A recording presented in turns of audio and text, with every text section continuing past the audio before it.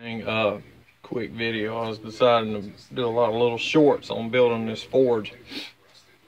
I found this old hibachi grill. Let me get right into it. And uh, knock a little screws that hold these off and uh, these legs, ground those off. Anyway, I'm planning on making a fire pot.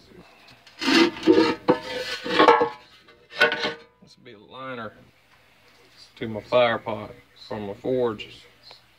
You can still find these old hibachi grills. These things they sell them at like uh, Target or somewhere. They're, they're, you can see them. They're on Amazon. They're cheap, and you can find them at yard sales or Goodwill. Just I found this one at Goodwill. It's been in the shed for years, and I'm never gonna make a cook a steak on it. So I'm gonna use it for a liner for a grill. I mean, uh, use it for a liner for my forge. Said, so far, legs off. Make little cardboard templates to fit the sides. See how big I'm going to need my pieces of plate. This is cast iron, just going to be a liner.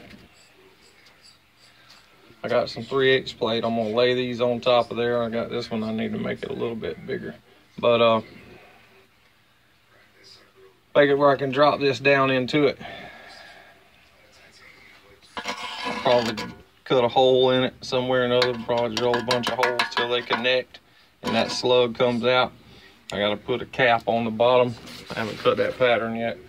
Cut a piece of cardboard to make my outside bottom.